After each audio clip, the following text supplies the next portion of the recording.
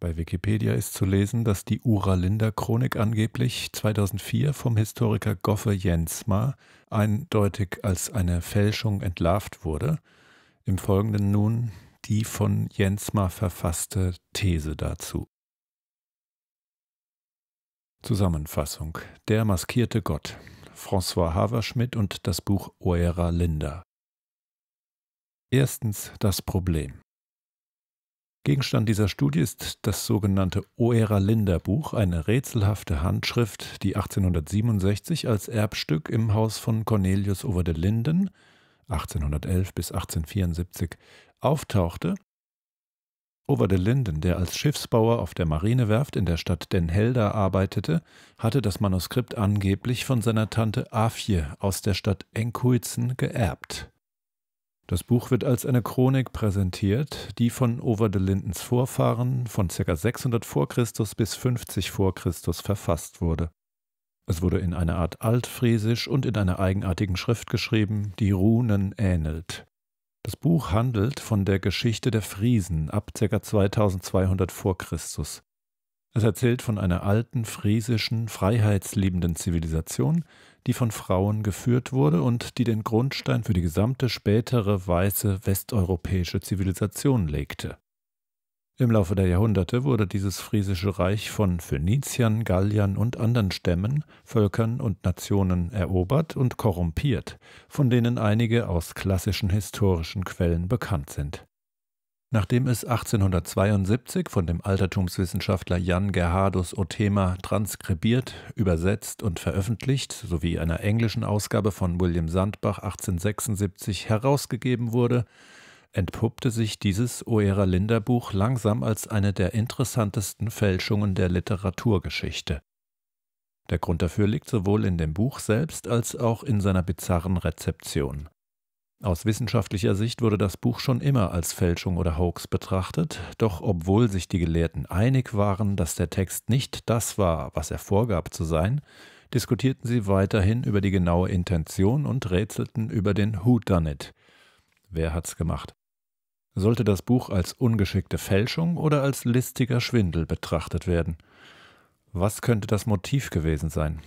Auf diese Fragen hat bis heute niemand eine überzeugende, definitive Antwort gefunden. In der Zwischenzeit hat eine andere Gruppe von Lesern dem Text Glauben geschenkt. Ursprünglich kamen diese Gläubigen aus friesischen Kreisen, aber im Laufe des 20. Jahrhunderts fand das Buch auch in Nazi-Deutschland und der New Age-Bewegung der Nachkriegszeit Anhänger. Ungelöste Fälle wie dieser können leicht zu juristischer Kasuistik und zur angestrengten Darstellung von direkten Beweisen führen. Um dem Fall gerecht zu werden, habe ich stattdessen einen breiten kulturgeschichtlichen Ansatz gewählt. Welche literarischen, historiografischen, religiösen und biografischen Kontexte geben dem OR-Linderbuch Bedeutung und Zusammenhänge? Zweitens das Manuskript. Die Untersuchung des Manuskriptes und des Textes selbst ist ein weitaus besserer Ausgangspunkt, zumindest vom methodischen Standpunkt aus, als die Suche nach der Identität des unbekannten Autors. Welche Intentionen und Widersprüche sind im Text selbst erkennbar? Das Manuskript, jetzt in Leuwarden, kann immerhin untersucht werden, während der unbekannte Autor nicht befragt werden kann. Im ersten Teil meiner Studie ging ich daher von der Fiktion des Oera-Linder-Buches aus, das heißt, ich nahm den Text für bare Münze, während ich gleichzeitig diese Behauptungen auf ihre innere und äußere Gültigkeit untersuchte. Außerdem stellte ich sie in einen kulturgeschichtlichen Kontext des 19. Jahrhunderts. In dieser Textanalyse beobachtete ich der Reihe nach folgende Themen äußere Merkmale, Sprache, literarische Struktur, historischer Inhalt, Verwendung von Quellen, Motiv und Genese. In all diesen Aspekten erweist sich der Text als äußerst ambivalent. Er ist eine bizarre Mischung aus Unbeholfenheit und Gelehrsamkeit, Unwissenheit und Überlegung, Analphabetismus und professionellem Können. Diese Qualität impliziert logischerweise, dass das Oera-Linderbuch eher als ironischer Hoax denn als eindeutige Fälschung zu betrachten ist. In jeder der aufgeführten Hinsichten merkt ein aufmerksamer, nachfragender Leser, dass sein erster Eindruck bald revidiert werden muss. Das Buch ist nicht auf Pergament geschrieben, sondern auf maschinell hergestelltem Papier, das aus der Zeit nach 1850 stammt. Es wurde offensichtlich künstlich gebräunt. Beim Aufreißen zeigt sich die Innenseite des Papiers weiß. Obwohl die verwendete Schrift für einen Laien an Runen erinnern mag, entpuppen sich die Buchstaben bei näherer Betrachtung als gut lesbare römische Majuskeln. Die Art und Weise, wie diese Buchstaben dargestellt werden, verrät professionelle Sprachwissenschaftlichkeit. In ähnlicher Weise ist auch die Sprache des Buches, OLH-isch sozusagen, nicht das, was sie zu sein scheint. Es handelt sich nicht um eine noch unbekannte Variante des Altfriesischen, sondern um Niederländisch aus dem 19. Jahrhundert, das sich als Altfriesisch maskiert. Diese Kunstsprache ist nach zwei Grundprinzipien gebildet, die sich mehr oder weniger die Waage halten. Ein altfriesisches Profil in Wortwahl und Formen und Verständlichkeit durch moderne Syntax. Die Entscheidung des Autors, das Buch in dieser Kunstsprache zu schreiben, kann als Parodie auf eine damalige friesische Puristenbewegung verstanden werden. Einige friesische Schriftsteller aus der sogenannten Frisk Selskip, Friesische Gesellschaft, hielten das moderne Friesisch für eine korrumpierte Form des Altfriesischen und versuchten daraufhin, die friesische Sprache durch die Wiedereinführung älterer Formen und Rechtschreibung zu reinigen das OLH-isch und dieses sogenannte Iduna-Friesisch ähneln einander. Derselbe friesische Nationalismus mag den Autor auch dazu veranlasst haben, bestimmte Formen der Geschichtsschreibung zu parodieren. Die literarische Struktur des Buches, eine Rahmenerzählung, in der Over the Lindens Vorfahren als Erzähler fungieren, und die historische Inszenierung sind eine eindeutige Parodie dessen, was man als humanistische, fantastische, friesische Geschichtsschreibung des Mittelalters und des 16. Jahrhunderts kennt. Diese Parodie spielt nicht auf bestimmte historische Quellen an, wie von einigen behauptet wurde, sondern stellt das fantastische Bild des friesischen Altertums in Frage, das noch im 19. Jahrhundert weit verbreitet war. Die Parodie besteht vor allem in der verrückten Übertreibung der mittelalterlichen und humanistischen Phantasien von der angeblichen frühen Größe und dem Adel der Friesen. Dieser groteske, überzeichnende Charakter macht das Buch schwer fassbar, weil er ein Hindernis für eine exakte, konsequente und logische Interpretation bildet. Diese groteske Parodie ist aber auch eine Illusion, die der Leser durchschauen soll. Dahinter verbirgt sich ein ernster gemeinter religiöser Inhalt. Die Theologie des Altfriesen, die in dem Buch ausführlich beschrieben wird, ähnelt ausschließlich dem theologischen Modernismus, der in den 1850er und 1860er Jahren vor allem an der Universität Leiden aufkam. Ein Vergleich des Oerer Linder Buches mit den Ansichten von J. H. Scholten einem führenden Professor der Theologie in Leiden, zeigt diese Ähnlichkeiten deutlich auf. Der Modernismus und das Oerlinder Buch haben das gleiche Gottesbild, die gleiche monistische Weltsicht und die gleiche Sichtweise auf die menschliche Natur und die Entwicklung des religiösen Bewusstseins in der Geschichte der Menschheit gemeinsam. Aber nicht nur die spezifisch religiösen Passagen, sondern der gesamte Text kann unter diesem Gesichtspunkt verstanden werden. Gerade die Sprache, das OLH-isch, bietet sich für eine Fülle von Doppeldeutigkeiten an, die die zentralen Begriffe des Textes betreffen. Hinter dem Altfriesischen verstecken sich freidenkerische, modernistische Gläubige, die gegen die Finns und Magyars kämpfen. Das ist ein Wortspiel mit den Feinen, einer abwertenden Bezeichnung für orthodoxe Protestanten, die an Magie in Anführungszeichen glauben sollen. Das Buch bezieht sich an dieser Stelle auf den sogenannten richtigen Streit, einen konfessionellen Kampf zwischen Orthodoxie und freidenkerischem Modernismus, der Ende der 1850er Jahre innerhalb der niederländischen reformierten Kirche wie auch in der niederländischen Gesellschaft insgesamt ausbrach. So lässt sich das Oera Länderbuch als Ganzes, nachdem alle Illusionen des Lesers durchbrochen wurden, am besten als eine Allegorie dieses konfessionellen Kampfes charakterisieren, die von einem modernistischen Standpunkt aus geschrieben wurde und die historische Parodie als Vehikel benutzt.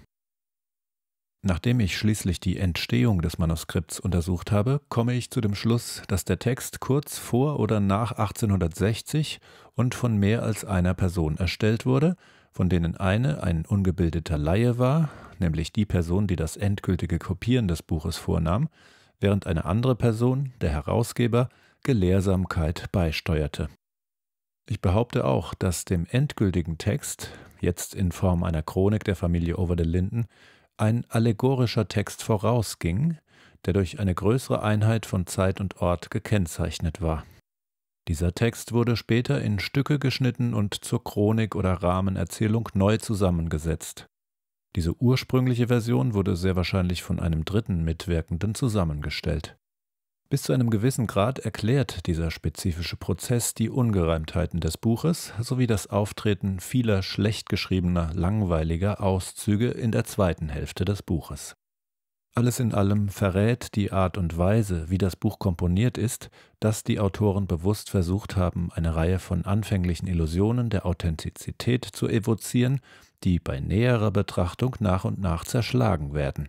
Fast alle formalen Elemente tragen zu diesem Effekt bei, und so entpuppt sich das Buch als avantgardistischer historischer Roman, zumindest so, wie diese Gattung im 19. Jahrhundert verstanden wurde. In zwei weiteren Aspekten ist das Buch bemerkenswert unkonventionell. Erstens, weil es nicht von einem Autor, sondern von einem Konsortium verfasst wurde, und zweitens, was noch ungewöhnlicher ist, weil das Buch anscheinend absichtlich in Form und Inhalt korrumpiert wurde. Drittens, die Rezeption. Gläubige und Fragesteller. Die Absicht des Autors des Oera-Linder Buches, wie im ersten Teil dieser Studie dargelegt, steht im Widerspruch zur Rezeption. Die Illusionen wurden nicht durchschaut. Der Hauptgrund dafür liegt in den Bemühungen des Altphilologen Jan Gerhardus Othema 1804 bis 1879. Othema wurde 1870 buchstäblich zum Gläubigen des Textes und verbrachte den Rest seines Lebens damit, dessen Authentizität zu verteidigen. So wurde das Buch im Laufe der Rezeption zu etwas ganz anderem, als es der Autor beabsichtigt haben muss. Wie Othema erkannten viele Gläubige in Anführungszeichen den illusionären, ironischen, zweideutigen Charakter des Textes nicht, während andere, die Fragenden in Anführungszeichen, zwar von seiner Scheinhaftigkeit überzeugt waren, aber den Autor zu identifizieren versuchten, den Text aber nicht als literarisches Produkt untersuchten. Was im Text selbst ursprünglich zusammenhing, erwies sich in der Rezeption als getrennt und wurde auch mit unterschiedlichen sozialen Gruppen assoziiert. Die Fragenden rekrutierten sich in der Regel aus gelehrten Kreisen, während die Gläubigen vor allem unter Laien zu finden waren und sind. Die Dynamik der Debatte wurde teilweise durch die Verachtung bestimmt, die beide Parteien füreinander empfanden. Auch die sozialen und kulturellen Verhältnisse spielen eine wichtige Rolle bei der Rezeption durch die Fragenden. Indem sie den Text als plumpe Fälschung behandelten, die Cornelius over the Linden geschrieben hatte, wurde der Text, gesellschaftlich gesehen, unschädlich gemacht. Andere, wie zum Beispiel de Jong in seinem Het Geheim van het Oeralenderböck, in Klammern das Geheimnis des Oeralenderbuches, entschieden sich für die Interpretation des Buches als eine Fälschung, geschrieben von einem Mitglied der intellektuellen und gesellschaftlichen Elite, nämlich Elko Verweis. Die Diskussionen zwischen den beiden Parteien waren von Ehrgefühlen und Stolz geprägt und abgeschreckt. Die intellektuelle Elite konnte nicht akzeptieren, dass eines ihrer eigenen Mitglieder sie auf diese Weise hinters Licht geführt hatte. Die Rezeption des Oererländer Buches als ernsthafter religiöser Text zeigt, dass im Laufe der Zeit der friesische Charakter des Textes an Bedeutung verlor. Auch das religiöse Interesse an dem Text erweist sich als häufiger als oft angenommen wird. Zwischen dem Ersten und Zweiten Weltkrieg fand das Buch in Nazi-Deutschland große Beachtung und heute ist es ein vielgelesener Text in angelsächsischen New Age-Kreisen. Wenn man das Buch als Maßstab nimmt, kann man die Frage nach der Kontinuität zwischen der deutschen Populärwissenschaft der Zwischenkriegszeit und der New Age-Bewegung stellen. Beide haben eine ähnliche Weltanschauung, die mit der Theosophie verwandt ist und die sich auch erstaunlich gut mit dem modernistischen Monismus des 19. Jahrhunderts verbinden lässt.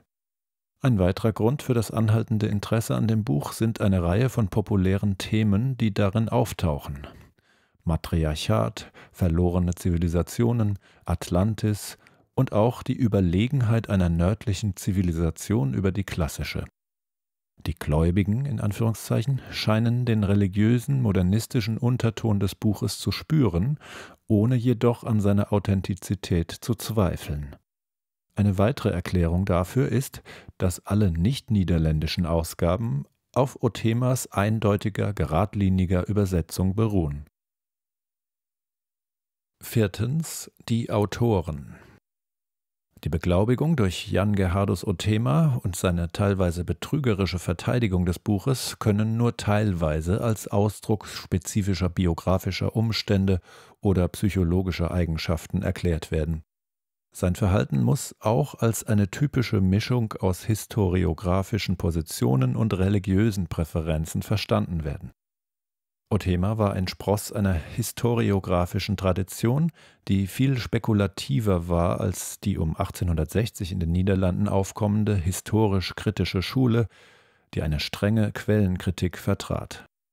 Diese historiografische Position schloss seinen Glauben an das Buch nicht aus.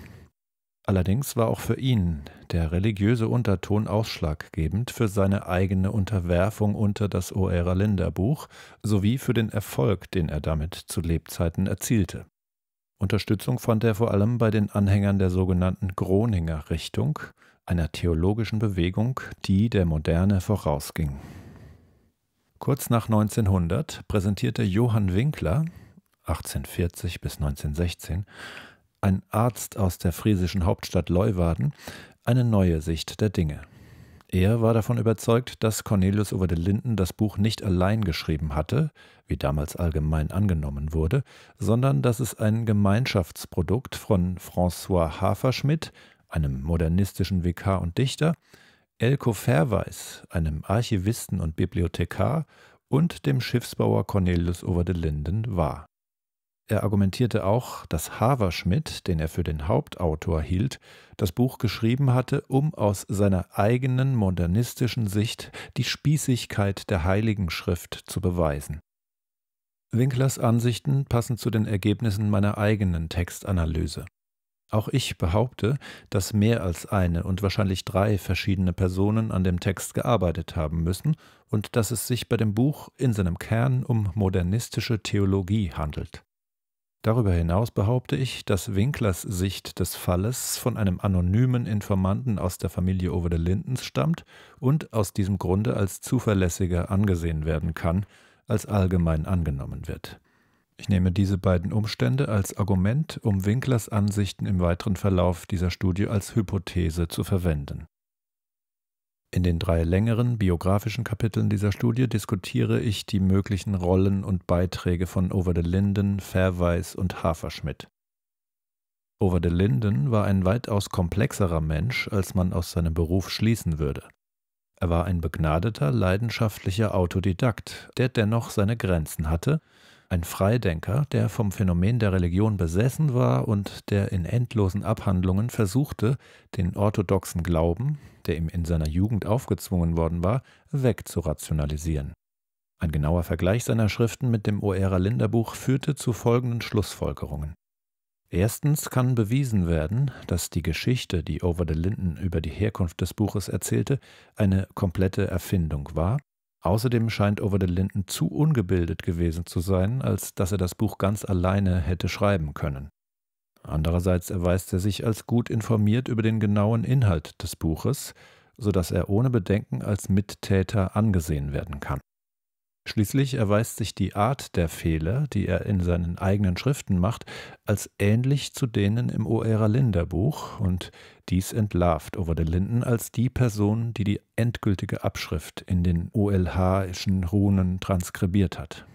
Eine Folge von Over the Lindens Beteiligung, die in der verfügbaren Literatur bisher nicht genug betont wurde, ist das enorme Ausmaß von Täuschung und Betrug in diesem Fall – sowohl gegenüber Othema, mit dem er sehr häufig korrespondierte, als auch gegenüber seinen eigenen Kindern und gegenüber der Öffentlichkeit spielte Over the Linden den Unschuldigen.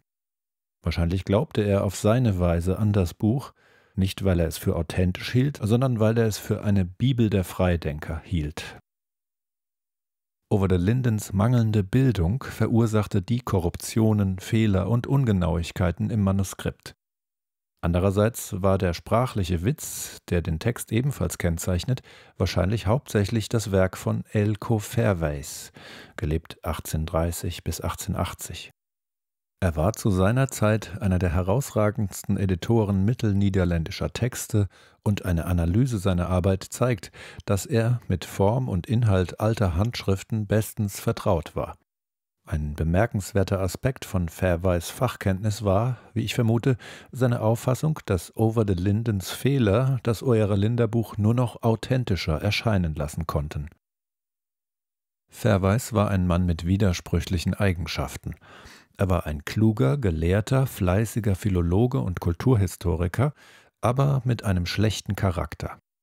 Er hatte die Angewohnheit, Menschen zu beleidigen und verhielt sich oft heuchlerisch und ohne Rücksicht auf Verluste. Diese Eigenschaften schließen sicher aber nicht aus, dass Verweis die Person war, die mit List und Tücke das Eurer Länderbuch lancierte. Mehr als drei Jahre lang, von 1867 bis 1870, gab er vor, Zweifel an der Echtheit oder Fälschung des Manuskripts zu haben, eine Haltung, die mit seinen eigenen Kenntnissen und Fähigkeiten völlig unvereinbar war. Andererseits bedeutete Fairweis Verhalten während der Einführung, dass er bewusst das Risiko einging, seinen Ruf und möglicherweise seine Karriere zu gefährden, sollte der Schwindel jemals aufgedeckt werden. Durch sein Amt als Provinzarchivar bezog er die Provinzregierung von Friesland in die Affäre mit ein und zog auch seinen ahnungslosen Freund, Präzeptor und späteren Vorgesetzten Matthäus de Vries mit hinein. Eine plausible Erklärung für dieses Verhalten, abgesehen von Verweis Charakter, liegt in der extrem komplizierten Art und Weise, wie das Buch auf den Markt gebracht wurde, im Vergleich zu anderen Fälschungen und Hoaxes. Ich schlage vor, dass der Weg von Over the Linden zu Othema, auf dem das Manuskript innerhalb von drei Jahren durch die Hände von nicht weniger als fünf verschiedenen Personen ging, zwei verschiedene Versuche umfasst, das Buch zu lancieren. Ein wichtiges Element der Zusammenarbeit zwischen Fairweis und Over the Linden ist die Art und Weise, wie sie sich als Personen mit gegensätzlichen Interessen darstellten, mittels eines Briefwechsels, der Teil des Schwindels war. Der gelehrte Fairweis ließ es so aussehen, als ob der einfache Schiffbauer Over the Linden das Manuskript wegen der Ehre seiner Familie nicht herausgeben würde, während Over the Linden seinerseits Fairways als faul und gleichgültig darstellte. Später, als die Affäre um ihrer Karrieren und ihres Rufes willen vertuscht werden mussten, konnte diese Strategie fortgesetzt werden. Eine Folge dieser Vertuschung ist, dass der letzte der von Johann Winkler genannten Autoren, nämlich François Haferschmidt 1835 bis 1894, nie enttarnt wurde. Die Möglichkeit seiner Autorschaft ist in der Literatur nie systematisch untersucht worden. Nichts ist jedoch plausibler, als dass er es war, der das Buch veranlasst hat. Sein literarischer Stil ähnelt dem Oera Länderbuch in vielerlei Hinsicht viel mehr als der seines Intimfreundes Fairweis. Außerdem erfüllt Haferschmidt die notwendige Bedingung, dass er als Vikar in Den Helder Over de Linden gekannt haben muss, zumindest als Mitglied seiner Gemeinde. Das Oera Linderbuch passt zu der Art und Weise, wie sich Haferschmidts literarische Karriere entwickelte. Schon als Schuljunge, der das Gymnasium in seiner Heimatstadt Leuwarden besuchte, hatte er mit literarischen Formen experimentiert, die dem Oera Linderbuch ähneln. Darüber hinaus gibt es auch Ähnlichkeiten im literarischen Inhalt. So verfügte er über eine erstaunlich gründliche Kenntnis der altfriesischen fantastischen Geschichtsschreibung, die für die Realisierung des Oera Linderbuches so unverzichtbar war. In seinem veröffentlichten literarischen Werk, zum Beispiel in den bekannten Snicken en Grimlaches, angeblich von seinem fiktiven Alter Ego Piet Paltjens verfasst, werden Friesland und Je olde Friesland parodiert, genau wie es im Oralinderbuch der Fall ist. Ein Vergleich einiger Texte von Haver-Schmidt mit Auszügen und Themen aus dem Oralinderbuch brachte überraschende Ergebnisse. So stieß ich im Oralinderbuch auf eine Karikatur des friesischen Dorfes Voldgum, in dem Haferschmidt von 1859 bis 62 als Vikar tätig war. Ein anderer Text, der aus der gleichen Zeit stammt, muss, wie das Orealänder Buch, als Allegorie der Richtgensträt bezeichnet werden. Darüber hinaus konnte ich auch Haferschmidts modernistische theologische Anschauungen und das Oeraländer Buch miteinander in Beziehung setzen. Einer der auffälligsten Aspekte in Haverschmidts Werk ist eine konservative Art von Ironie, die die Kluft zwischen Wissenschaft und Glauben zu überbrücken scheint. Die historisch-kritische Methode etwa, die bewiesen hatte, dass die friesische fantastische Geschichtsschreibung Fiktion war, stand im Widerspruch zu Haverschmidts Faszination für eben diese Fantasien. Die gleiche Ironie war auch in theologischer Hinsicht wirksam. Der Wunsch, auf eine kindliche, selbstverständliche Weise an Gott zu glauben, stand im Widerspruch zur modernistischen Theologie, der Haferschmidt seit seinem Studium in Leiden anhing. Der Modernismus versuchte, Theologie und Naturwissenschaft zu versöhnen und akzeptierte deshalb keine Wunder. Und er betrachtete die Bibel nicht mehr als Gottes heiliges Wort. Stattdessen betrachtete sie die Natur und die Geschichte so, als wären sie Rätsel, die Gott vom Menschen lösen will. Dies sind genau die Ansichten, die von Scholten und Haferschmidt geteilt wurden und die im Oera Linderbuch erscheinen.